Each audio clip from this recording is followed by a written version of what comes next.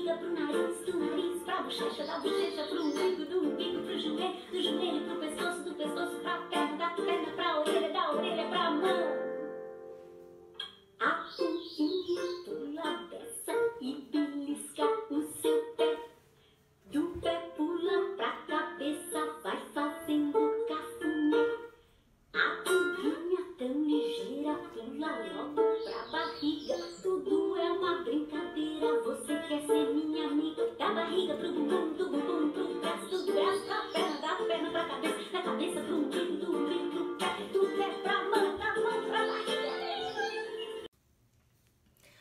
Amores, vocês gostaram da musiquinha da Puguinha?